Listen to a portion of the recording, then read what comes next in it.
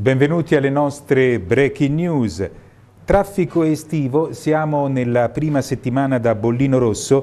Autostrade per l'Italia per favorire la circolazione ha già ridotto i cantieri in autostrada sia di giorno sia di notte, però i disagi non mancano comunque, anche nel tratto aretino vanno segnalate alcune situazioni di disagio che creano qualche problema alla sosta, soprattutto nelle cosiddette aree parcheggio e anche in carreggiata.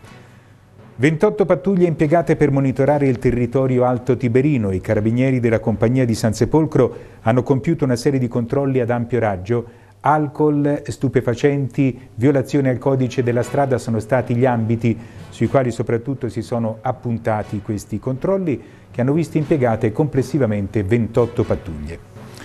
È ufficiale il dissequestro dell'erba sintetica dell'antistadio Buitoni di San Sepolcro, così ha deciso il PM Marco Dioni. Alcuni mesi fa il manto sintetico era stato rimosso per essere sostituito nel progetto di rinnovamento complessivo dell'impianto.